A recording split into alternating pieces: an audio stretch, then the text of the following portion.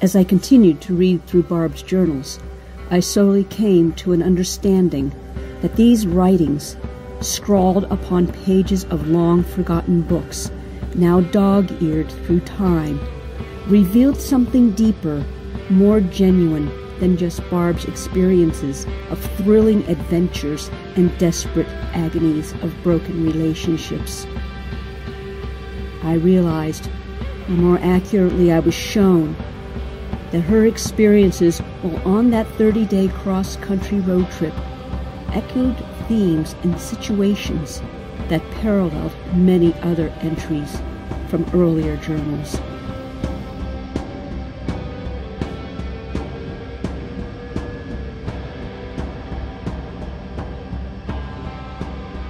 Nice Ride is about a life that expresses pain without an inkling of bitterness or sense of entitlement, and contentment without apology or pride. It is about a woman who was resolute in trusting that life in general was purposed, and lived it resolutely and purposely even through the insanely dark times of terminal illness. Ultimately, though, I think only one lesson really mattered to Barb, and now to me, and serves only to one end how to embrace transformational read lessons through a deeper and greater truth about ourselves in a very large God, the universe who is love.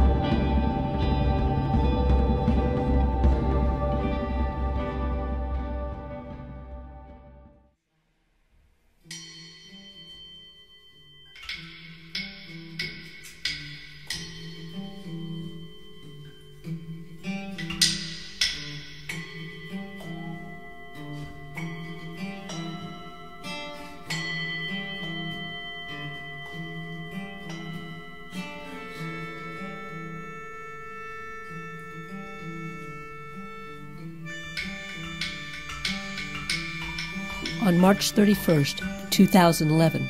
when Barb informed us of her diagnosis of stage 4 soft tissue sarcoma cancer, or as she put it, our little situation, she was given very little time to live. The myriad of emails to and from Barb, myself, and what became her team healers substantiated for us the phenomenal effect of what active prayer and human goodness can do. Barb outlived her original prognosis by a year and three months.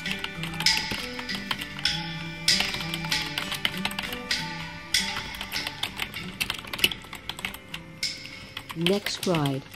Emails, Passages, and Passings is a collection of the email letters that cascaded from one computer to another from the wide circle of Barb's friends, as well as alternative health care takers, writers, poets, stockbrokers, and many others who were not only captivated by her unbelievable resilience as she accepted with insight and honesty her little situation, but wanted to be a part of the miracle.